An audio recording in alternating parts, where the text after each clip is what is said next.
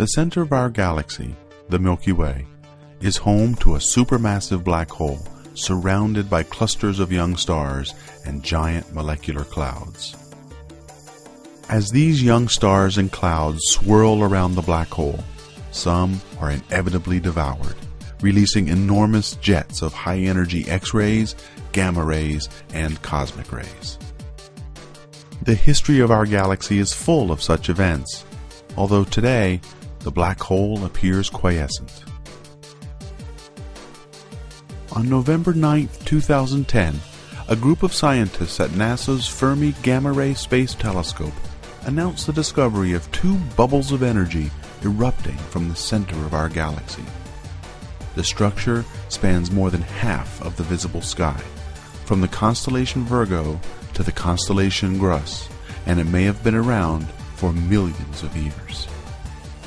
These bubbles extend 25,000 light years from each side of our galaxy and contain the energy equivalent of 100,000 supernovae.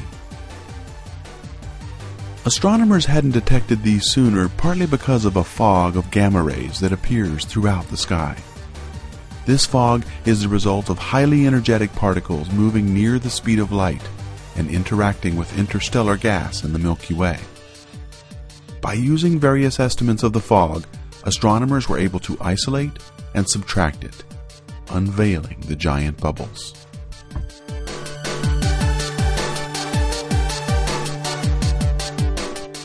This discovery came as a complete surprise. No one had any idea they were there, and their source is a mystery. One possibility is that these bubbles are fueled by waves of starbirth at the galactic center. Another idea is that they are the result of gigantic periodic outbursts from the massive black hole.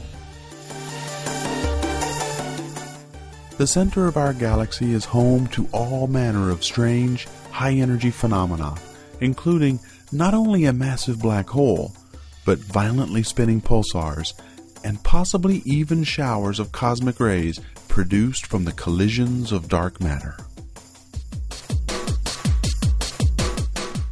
Whatever their source, these bubbles are another indication that our home galaxy, our own celestial backyard, yet holds many mysteries.